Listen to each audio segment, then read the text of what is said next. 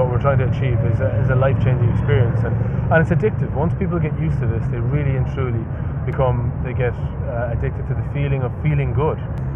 We actually prepare people for these fitness departures.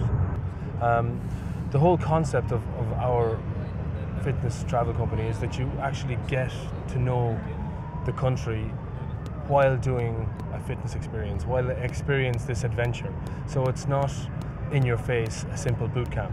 You're not just showing up, doing exercise, going back to your room. It's very much more about using the environment around you, getting to know the, the, the country where you're practicing, and then from there, you actually are, don't even realize you're getting, you're, you're getting fitter.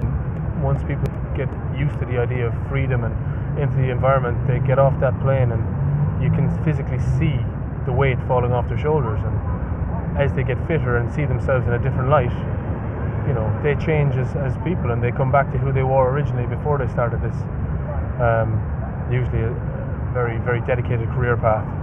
You know, and each of those trips is going to have a, uh, a private chef with them, so they're going to make sure that we have the dietary uh, requirements of everybody um, covered. We use things like the Paleolithic diet combined with the Mediterranean diet for um, for tone definition, weight loss. And places like Senegal, it's it's food is so fresh. It's it's right there at hand. People get a chance to go to the markets with a chef. We're really trying to get into that world of experiential. We'll achieve that in every one of our trips.